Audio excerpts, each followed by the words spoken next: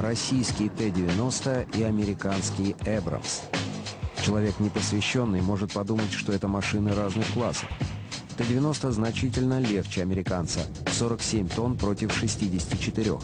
Он гораздо компактнее, да и выглядит не столь впечатляюще. Однако на мировых рынках оружия эти машины – прямые конкуренты. И это объясняется их схожим боевым потенциалом.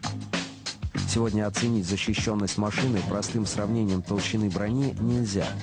Нужно знать, из чего она состоит. В броне Эбрамса используется объединенный уран, а на Т-90 встроенная динамическая защита. По утверждению американцев, лобовая броня Эбрамса доказала свою надежность во время войн в Ираке 91 и 2003 годов.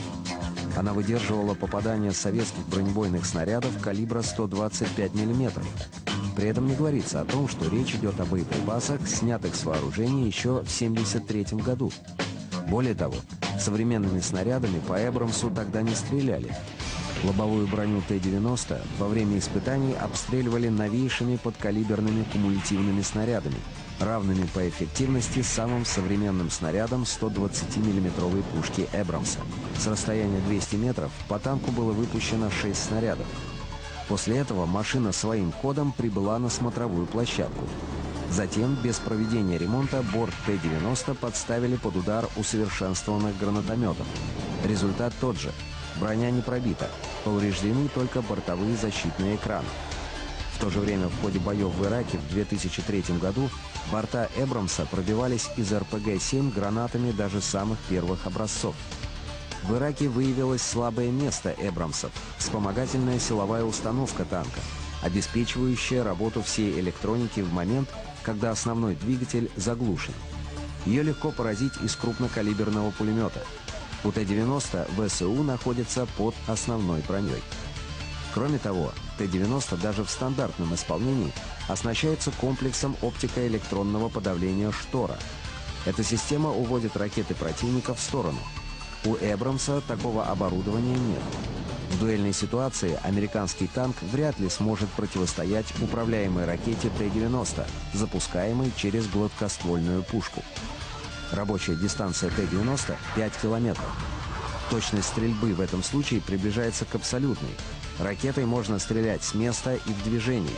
К тому же для ее использования не требуется каких-либо особых навыков наводчика. Мощность пушек Т-90 и Эбрамса примерно равнозначна. Бронепробиваемость отечественного снаряда с сердечником из вольфрама ничем не уступает своему конкуренту, американскому снаряду с сердечником из объединенного урана. Подобные снаряды были разработаны и у нас, но они крайне вредны для экипажа, и их серийное производство было отложено на черный день. Танк должен уметь уничтожать не только бронированные цели – но и, как говорят военные, танкоопасную живую силу, то есть гранатометчиков и расчеты ТУР. В этом Т-90 значительно превосходит «Эбрамс». В боекомплект нашего танка входит осколочно-шрапнельный снаряд с дистанционным подрывом. Его можно взорвать прямо над головами вражеских солдат или даже вблизи боевого вертолета. Подобных снарядов у «Эбрамса» нет. Долгое время, не без помощи западных военных журналов, Считалось, что электроника и оптические приборы наших танков, мягко говоря, несовершенны. На самом деле, комплекс управления огнем Т-90 ничем не уступает натовским аналогам.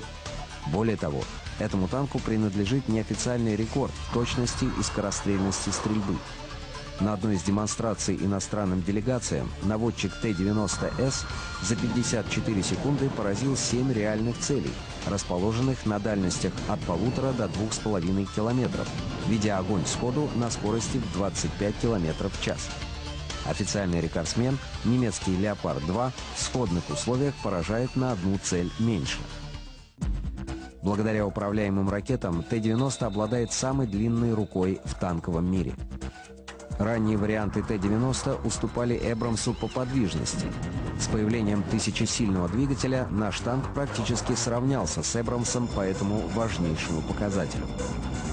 А по проходимости эти два танка вообще нельзя сравнивать. На выставке вооружений в Абу-Даби в 1993 году Эбрамс разулся, потерял гусеницу на обычном косогоре выставочного танкодрома. Наш танк на конкурсных испытаниях прошел почти 3000 километров по непроходимым малайским джунглям, по бездорожью, в котором застряли все его конкуренты. Он великолепно показал себя и в ходе марша по индийской пустыне Тар, в жаре превышавшей 50 градусов. Непременное требование к боевой технике будущего – высокая информатизация машин. В ближайшем будущем на Т-90 установят новую аппаратуру спутниковой навигации. Таким образом, Эбрамс лишится своего последнего преимущества перед нашим танком. На сегодняшний день Т-90 превосходит Эбрамс по большинству показателей. Но их заочное соревнование заканчивается. Возможности их модернизации практически исчерпаны. На поле боя вскоре выйдут танки следующего поколения.